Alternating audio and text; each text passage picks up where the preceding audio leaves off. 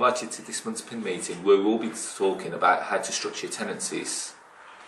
Now, when you're renting a property out, you can say that a tenancy agreement is the most important document that you need and is a legal binding document between you as the landlord and the tenant. More importantly, I'll tell you how to structure your tenancies which avoid the pitfalls of rent arrears. If you think that's of interest, come along to this month's PIN meeting and we can discuss in person how to avoid them together. See you there.